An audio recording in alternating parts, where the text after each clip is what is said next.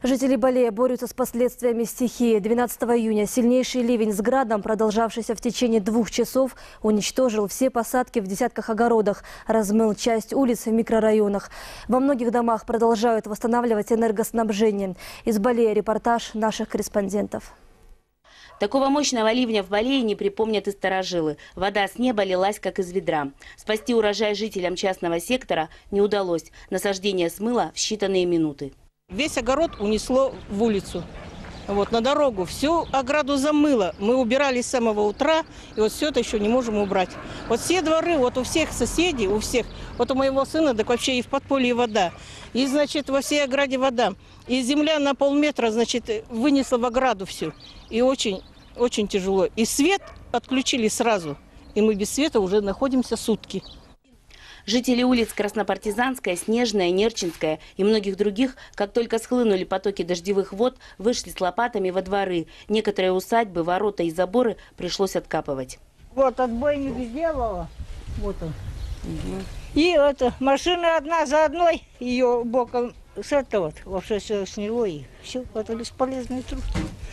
В тех дворах, что находятся в низине, хлынувшая во время дождя вода оставила после себя глубокие промоины. Я с работы уже приехал, а тут уже вал шел.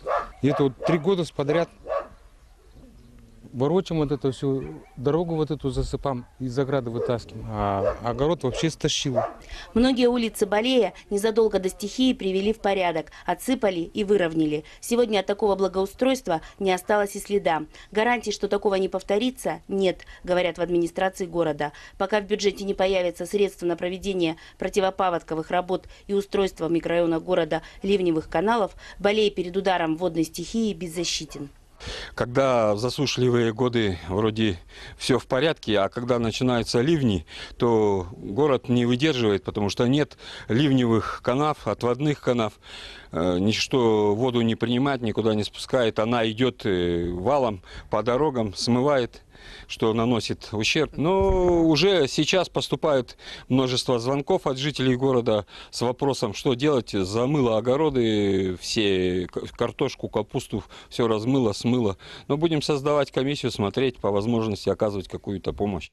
Борьба с последствиями стихии в микрорайонах Балея продолжается. Актуальным, наряду с очисткой улицы дворов от нанесенного потоками воды, грунта и камней, остается вопрос с восстановлением электроснабжения. Надежда Соснина, Андрей Легков, Вести Чита.